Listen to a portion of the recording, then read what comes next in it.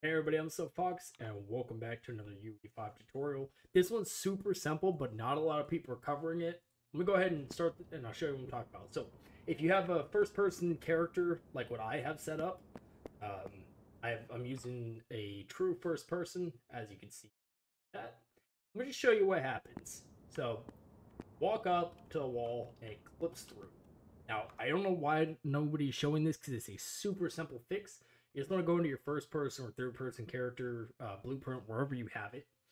Um, make sure to select the mesh and the camera and just simply slide them in towards like kind of the back of the capsule. Uh, it doesn't have to be all the way back. You just just play with the value depending on your character, and then as you walk up to a wall, it will go ahead and disable the clipping effect. You guys enjoyed? Like, comment, subscribe.